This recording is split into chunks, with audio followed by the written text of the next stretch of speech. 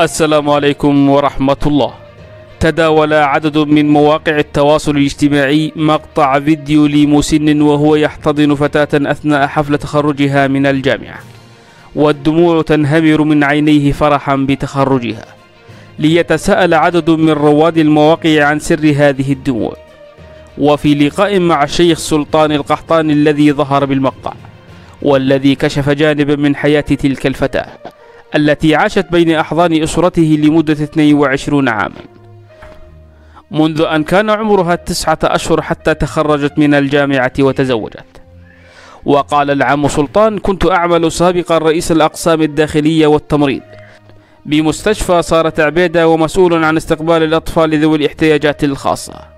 إذ حضرت هذه الطفلة وهي لا تكف عن البكاء حتى يغلبها النوم.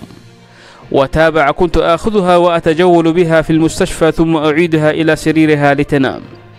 ثم شرحت لأسرتي وضعها ورغبتي في أخذها عندنا المنزل. وأخذت الإذن من إدارة المستشفى ومكثت عندي عدة أسابيع. ثم أردت إعادتها فرفضت أسرتي الثمانية كلهم بالإضافة إلى زوجتي. وأردى فتقدمت لجهة الاختصاص بطلب رسمي لاحتضانها.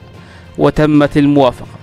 وأخذتها معنا وهي بعمر تسعة أشهر ولاحظت تغيرا في حياتنا في البيت من راحة وطمأنينة وسعة في الرزق بفضل الله.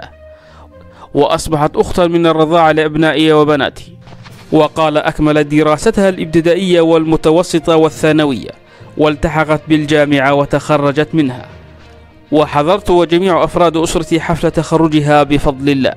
وقبل ستة أشهر تزوجت من شاب لدى أسرة حاضنة. ولله الحمد. وللمزيد من الأخبار تابعونا وصلى الله على سيدنا محمد.